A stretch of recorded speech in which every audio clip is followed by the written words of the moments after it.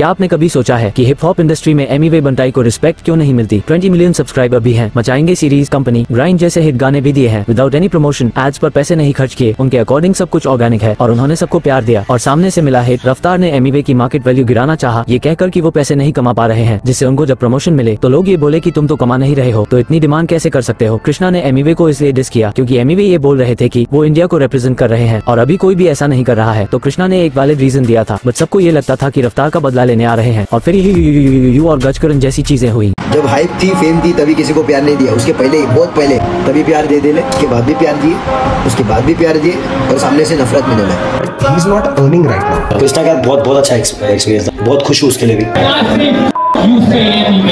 मुझे ऐसा क्यों लगा ये यू यू यू था एक को गजकरण था उसके लिए बना लिया था। MC Stan, 10 on 10 Raftar, 10 on 10 Krishna, 10 on 10 Badshah. सब 10 on 10